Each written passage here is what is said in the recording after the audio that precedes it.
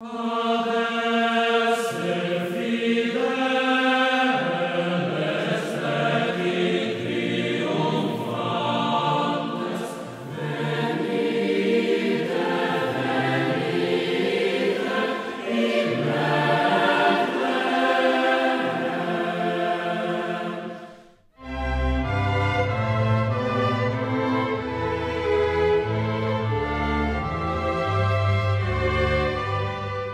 Paz e bem, sejam todos bem-vindos ao nosso segundo encontro em preparação à festa preferida de São Francisco de Assis. E o tema de hoje é Natal, a festa dos pobres. Por nutrir um amor tão profundo pelo mistério da encarnação, São Francisco desejou reviver aquele momento único na história da salvação. Por isso, há 800 anos, ele convidou seus frades, amigos, camponeses e toda a criação para recriar o momento do presépio. Assim que os personagens estavam apostos, a alma de São Francisco irrompeu em alegres cantares por estar diante do amor despojado na festa das festas. Hoje vamos meditar sobre o nascimento do menino Deus no meio dos pobres. Infelizmente, Muitas comemorações durante o ano foram sequestradas pela mentalidade consumista, em que as roupas a serem utilizadas, os enfeites, os presentes, tornam o lugar da centralidade daquilo que celebramos. No caso da espiritualidade franciscana, sabemos que a proximidade de Francisco com os pobres se deu durante toda a sua vida e se tornou um dos traços da identidade franciscana mais conhecidos. Um dos apelidos dados a Francisco foi juntamente o de poverelo, pobrezinho, o que demonstra que ele não simplesmente convivia com os pobres, mas se tornou um deles. Na regra de 1221, Francisco exortou os frades sobre a importância de eles manterem sempre uma proximidade com os pobres. A predileção pelos pobres, no entanto, já vinha anunciada por Jesus ou mesmo pelos profetas do Antigo Testamento. Tomás de Tilano ao descrever os, a celebração do Natal em Grétio, diz que Grétio tornou-se uma nova Belém, honrando a simplicidade, louvando a pobreza e recomendando a humildade. O Papa Francisco, há dez anos, já alertava o grande risco do mundo atual, com a sua múltipla e avassaladora oferta de consumo é uma tristeza individualista que brota do coração comodista e mesquinho, da busca desordenada de prazeres superficiais, da consciência isolada. Quando a vida interior se fecha nos próprios interesses, deixa de haver espaço para os outros, já não entram os pobres, já não se ouvem a voz de Deus já não se goza da doce alegria do seu amor, nem fervilha o entusiasmo de fazer o bem. Este é o risco certo e permanente que correm também os crentes. Muitos caem nele, transformando-se em pessoas ressentidas, queixosas, sem vida. Esta não é a escolha de uma vida digna e plena. Este não é o desígnio de Deus que Deus tem para nós. Esta não é a vida do Espírito que jorra do coração de Cristo ressuscitado. Façamos hoje da nossa casa uma nova Belém, uma nova Grétio, onde o menino Deus possa nascer. Comemoremos com simplicidade e devoção a chegada de um Deus feito criança acolhido entre as palhas de um coxo e reconheçamos a presença de Deus no cotidiano das nossas vidas. Jesus está aqui, tão certo como o amanhã que se levanta, tão certo como eu te falo e podes me ouvir. Iniciemos em nome do Pai, do Filho e do Espírito Santo. Amém. Leitura do primeiro livro dos Reis. Então o Senhor lhe disse: Vai para Sarepta de Sidom e fixa-te ali. Eu ordenei a uma viúva desse lugar que te, que te sustente. Elias pôs-se a caminho de, para Sarepta. Chegando à porta da cidade, viu uma viúva que ajuntava lenha. Chamou-a e disse-lhe: Por favor, vá buscar-me um pouco de água numa vasilha para que eu beba. E indo ela buscar-lhe a água, gritou-lhe Elias: Traze-me também um pedaço de pão. Pela vida de Deus, respondeu a mulher, não tenho pão cozido, só tenho um punhado de farinha na panela e um pouco de óleo na ânfora estava justamente apanhando dois pedaços de lenha para preparar esse resto para mim e meu filho, a fim de o comermos e depois morrermos. Elias replicou: Não temas, volta e faze como disseste. Mas prepara-me antes com isso um pãozinho e traze-o para mim. Depois prepararás o resto para ti e teu filho. Porque eis o que diz o Senhor Deus de Israel: a farinha que está na panela não se acabará, e a ânfora de azeite não se esvaziará, até o dia em que o Senhor fizer chover sobre a face da terra. A mulher foi, foi e fez o que disse Elias.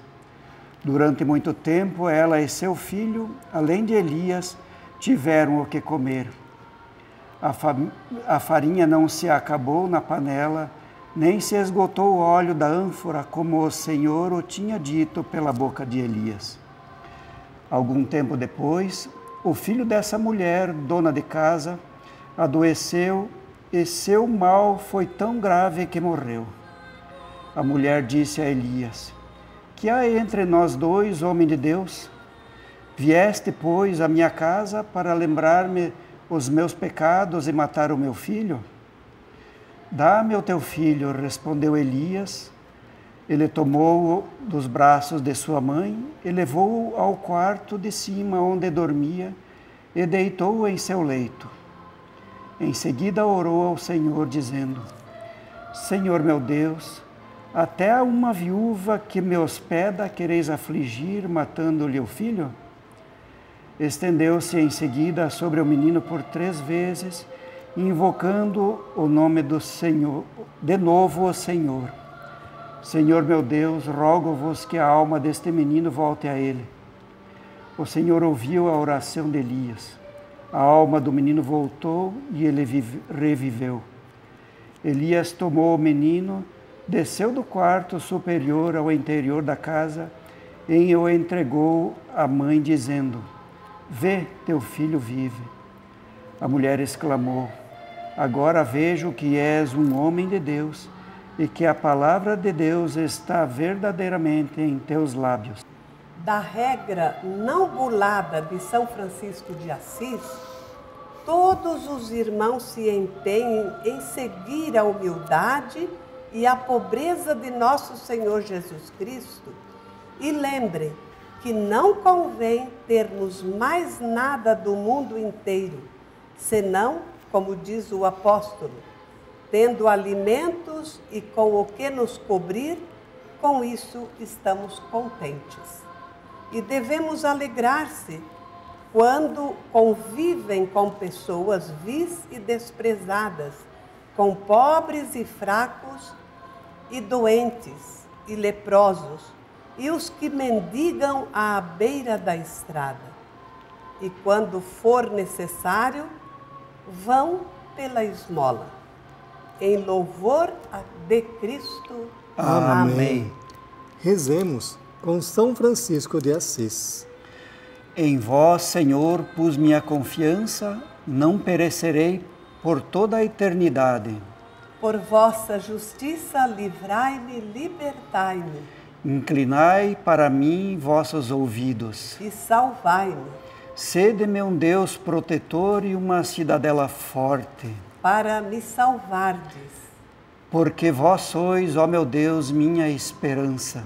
De, Senhor, desde a juventude, vós sois minha confiança. Em vós me foi dada forra, desde o seio da minha mãe, desde o seio materno sois meu protetor. A vós ressoa sempre o meu louvor. Minha boca se encha de vossos louvores, para que eu cante sempre vossa glória, continuamente com vossa grandeza. Ouvi-me, Senhor, pois vossa bondade é compassiva. Em nome de vossa misericórdia, voltai-vos para mim. Não escondais ao vosso servo o aspecto de vossa face. Atendei-me logo, porque estou muito atormentado. Bendito seja o Senhor Deus meu, porque se tornou o meu amparo. O meu refúgio no dia da tribulação. A vós, meu Deus, cantarei salmos, porque sois minha defesa. Vós sois o meu Deus, sois minha misericórdia. Glória ao Pai, ao Filho e ao Espírito Santo. Como era no princípio, agora e sempre. Amém. Façamos em dois coros a nossa oração final. Santo, Santo, Santo é o Senhor Deus Todo-Poderoso, o que é e que era e que virá. Louvai-o e exaltai-o pelos séculos sem fim. Digno sois, Senhor nosso Deus, de receber o louvor, a glória e a honra e o poder. Louvai-o e exaltai-o pelos séculos sem fim. Digno é o Cordeiro que foi imolado, ao de receber o poder e a riqueza, a sabedoria e a fortaleza, a honra, a glória e a bênção.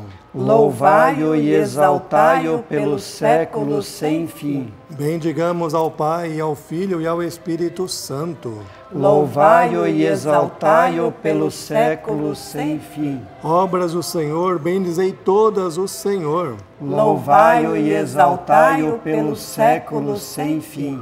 Louvai o nosso Deus, vós todos seus servos, vós que o temeis, pequenos e grandes. Louvai-o e exaltai-o pelos séculos sem fim. Celebrem-no em sua glória os céus e a terra. Louvai-o e exaltai-o pelos séculos sem fim.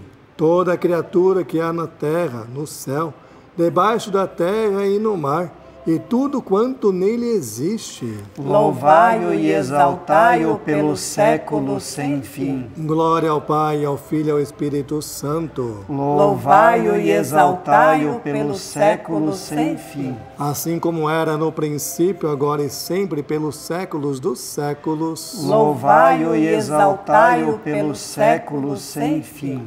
Onipotente, Santíssimo e Altíssimo e Soberano Deus, que sois todo o bem, o sumo bem, a plenitude do bem, que só vós sois bom.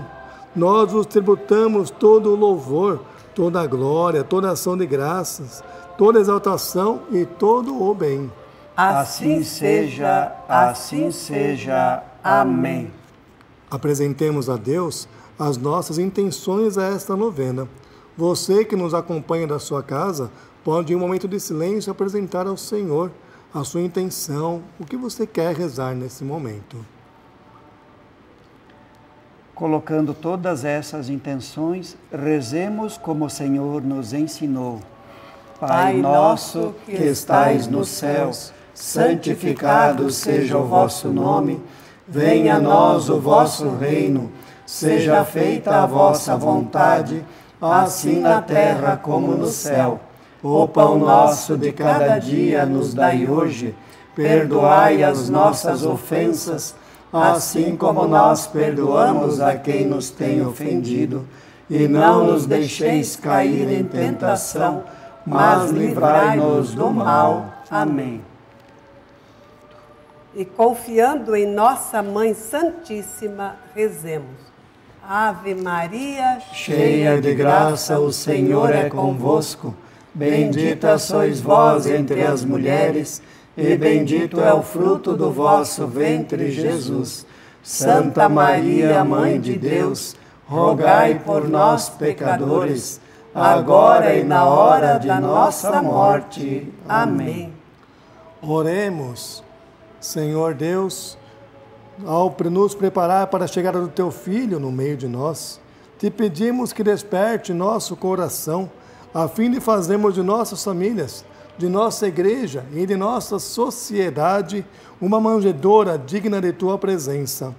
Ao acolhermos Teu amado Filho, como fez São Francisco de Assis há 800 anos, nos dispomos, como mulheres e homens, discípulos do Deus da vida, a semear a paz, a bondade e a justiça por todos os caminhos onde formos.